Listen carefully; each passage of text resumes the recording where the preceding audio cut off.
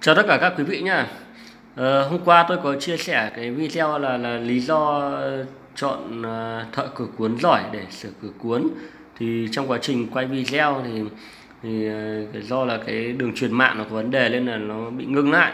Nên là buổi hôm nay tôi lại chia sẻ cái video về lý do uh, chọn uh, thợ giỏi để sửa chữa cửa cuốn cũng như là cung cấp thông tin về các đội thợ sửa chữa cửa cuốn giỏi và uy tín Ờ, tại Hà Nội tất cả các huyện quận của Hà Nội để các vị có thể là liên hệ trong trường hợp cần thiết.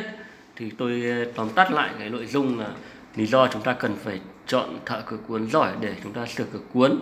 Thứ nhất là thợ cửa cuốn giỏi thì chúng ta cái, điều quan trọng là khi chúng ta gọi là khi gọi là sẽ sửa được cửa. Sửa được cửa. Đấy.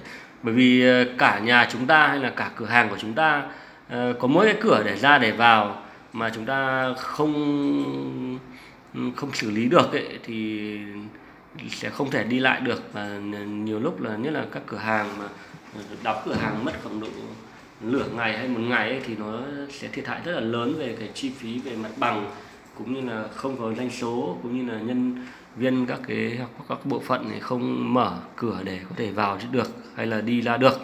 Nên là à, chúng ta cần phải gọi những người làm được việc. Đấy khi gọi là à, sẽ sửa được cửa. Thứ hai là sẽ sửa nhanh thợ giỏi thì sẽ có cái có yếu tố là là sửa nhanh.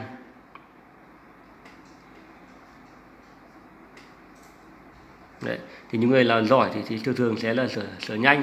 Vì cái bộ cửa chúng ta hỏng mà sửa từ sáng đến trưa hay là từ sáng đến tối ấy, thì nó rất là ảnh hưởng rất là lâu làm cho chúng ta sẽ khó khăn và mất thời gian. Đấy sửa được và sửa nhanh. Và cái thứ ba là, là là gọi là đến ngay được.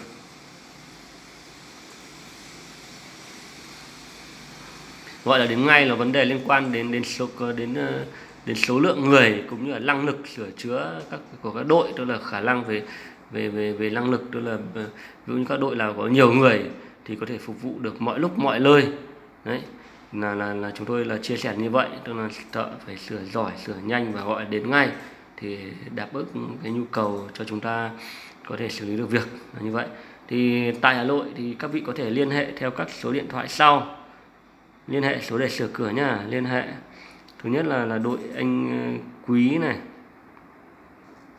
Số là 0986 này 201 này 390 này. Đấy. Hoặc là các vị có thể liên hệ với cả uh, một đội lứa có thể là số 0982 này. 064 này. 269 rồi cái đội này là bên bên phía Vinastar đấy. Thì các vị có thể liên hệ theo một trong hai số đấy là có thể à, xử lý được cửa. Đấy, video này tôi à, chia sẻ cái, cái lý do để chúng ta uh, phải giỏi chọn gọi thợ giỏi để sửa cửa là như vậy. Tức là cả nhà chúng ta hay là cả cửa hàng chúng ta có mỗi cửa cuốn để ra để vào thì chúng ta phải gọi thợ sửa giỏi sửa được sửa nhanh và gọi đến ngay để giải quyết được công việc của chúng ta. Đấy. video này tôi kết thúc ở đây. Cảm ơn các vị đã xem. À, nếu các vị có bình luận gì thì để lại bên à, bình luận bên dưới. Hoặc các vị có muốn mua cửa cuốn hay là mua motor lưu điện cửa cuốn thì có thể truy cập ở đường link website rồi để bên dưới nha.